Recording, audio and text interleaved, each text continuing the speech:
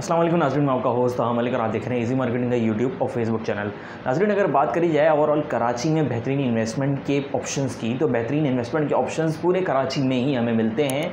लेकिन इन्वेस्टमेंट के साथ साथ अगर लिविलिटी भी आ जाए, अगर लिविंग भी आ जाए लिविंग का जो मैटर है, वो भी आ जाए तो क्या ही बात होती है। इसके लिए हमारे पास आज एक लिस्ट मौजूद है। उस लिस्ट के मुताबिक बेहतरीन पाँच जो जगहें हैं, पाँच सोसाइटीज़ हैं, पाँच सेक्टर्स हैं या फिर पाँच इलाके हैं वो हमने कंक्लूड करके निकाले हैं, जिसके अंदर जो अवलन तरजीहत में है, जो सर फहरिस्त है, वो डीएचए कराची है। डीएचए कराची समुंदर किनारे बसा हुआ है, सात फेसिस का मालिक है और तकरीबन आठ हज़ार सात सौ छियानवे एकड़ का रकबा डीएचए कराची के पास मौजूद है, जिसमें हमें बड़े प्लाट से लेकर के 120 125 गज़ के प्लाट भी फ़ेज़ एट के अंदर मिल जाते हैं। साथ ही आपको बताना चाहूँगा कि डीएचए कराची में गोल्फ़ क्लब के साथ साथ बड़े बड़े अपार्टमेंट्स बेहतरीन किस्म के लग्जरीज अपार्टमेंट जिसके अंदर इमार और क्रीक विस्टा शामिल हैं। वो भी मौजूद हैं और फ़ेज़ एट इस वक्त सबसे ज़्यादा बेहतरीन फ़ेज़ जो है वो डी एच ए कराची का समझा जा रहा है। इन्वेस्टमेंट के हिसाब से भी और लिविंग के हिसाब से भी। साथ ही आपको बताना चाहूँगा कि जो दूसरा नंबर है वो बहरिया टाउन कराची का है।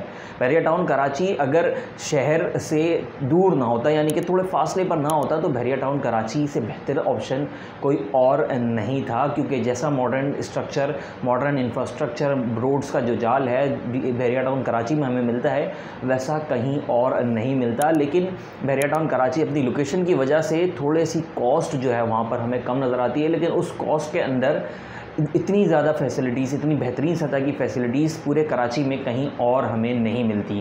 पैराडाउन कराची, जो कि चवालीस हज़ार एकड़ के ऊपर मबनी है, साथ ही वेराडाउन कराची का अब फ़ेज़ टू भी आ चुका है, जो कि ज़ेर तमीर है, उसकी संग बुनियाद रख दी गई है। पैराडाउन कराची में हमें प्रीसेंट्स मिलते हैं सेक्टर्स की बजाय, साथ ही पैराडाउन कराची में हमें एक सौ पच्चीस गज़ से लेकर के पाँच सौ और हज़ार गज़ के प्लॉट तक भी मिलते हैं, जिनके अंदर थीम पार्क से अगर बात करी जाए, या फिर डिफरेंट किस्म के जो मोनूमेंट्स पैराडाउन कराची के अंदर लगाए गए हैं, वो डांसिंग फाउंटेन हो या फिर दीगर फैसिलिटीज़ हों बहरे टाउन कराची को सबसे ज़्यादा मुनफरद बनाती हैं इन्वेस्टमेंट के हिसाब से भी और इंफ्रास्ट्रक्चर के हिसाब से भी और लिविंग के हिसाब से भी, क्योंकि जो बहरिया टाउन कराची में जाकर रह रहा है, वो बेहतरीन लाइफ स्टाइल अपना स्पेंड कर रहा है।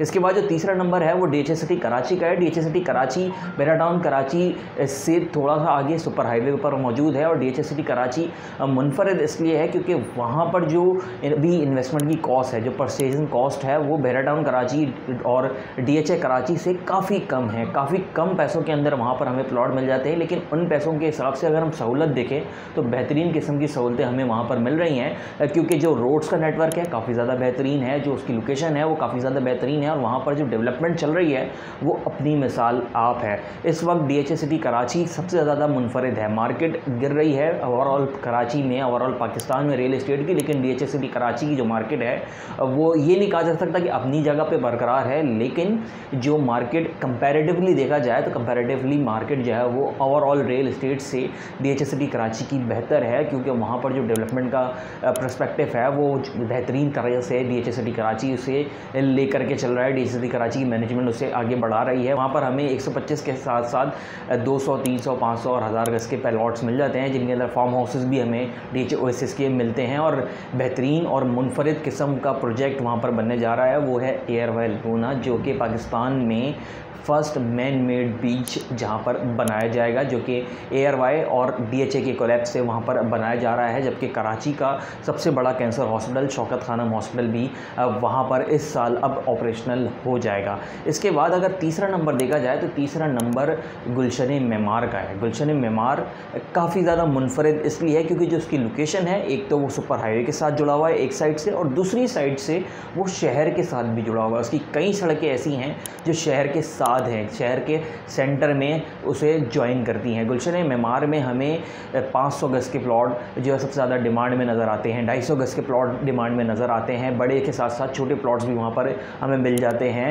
वहाँ पर जो पुलिस है वो काफ़ी ज़्यादा बेहतरीन नेटवर्क के साथ वहाँ पर काम करती हुई नज़र आती है। गुलशन मेमार को मुनफरद जो है वो उसकी लोकेशन बनाती है, जैसा कि बताया गया। और वहाँ पर जो प्लॉट्स की कैटेगरी है वो बेहतरीन है। रोड्स का जो नेटवर्क है, वो बेहतरीन है। पार्क का जो इंफ्रास्ट्रक्चर है, जो हॉस्पिटल का इंफ्रास्ट्रक्चर है, जो स्कूल्स के नेटवर्क हैं स्कूल्स के बहुत सारे नेटवर्क वहाँ पर काम कर रहे हैं। यानी कि अगर हम एजुकेटर की बात करें सिटी स्कूल की बात करें तो वहाँ पर हमें मिल जाते हैं। हर तरह की फैसिलिटी हमें वहाँ पर मिलती है। इसके बाद जो आखिरी नंबर है इस लिस्ट के अंदर वो नॉर्थ कराची का है। नॉर्थ कराची शहर के नॉर्थ में वाक़ है और सुरजानी और नाजमाबाद के बीचों बीच जो है वो नॉर्थ कराची हमें मिल जाता है। नॉर्थ कराची को इसलिए डाला गया है क्योंकि नॉर्थ कराची एक काफ़ी बड़ी जगह है। इसकी शुरुआत जो है, वो नागन चौरंगी से होती है और जो अख्ताम है, वो कहा जाता है कि फ़ोर के चौरंगी तक है, लेकिन फ़ोर के चौरंगी से भी आगे अब नॉर्थ कराची फैलता जा रहा है। इस साइड पर हम उल्टे हाथ पर देखें तो नॉर्थ कराची लग जाता है लगभग हब चौकी के पास तक और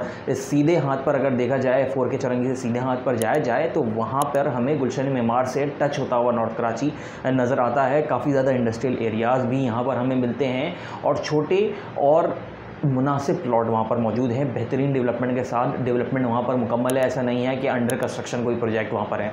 छोटे बड़े सदा के वहाँ पर प्रोजेक्ट्स मिल जाते हैं, फ्लैट्स मिल जाते हैं।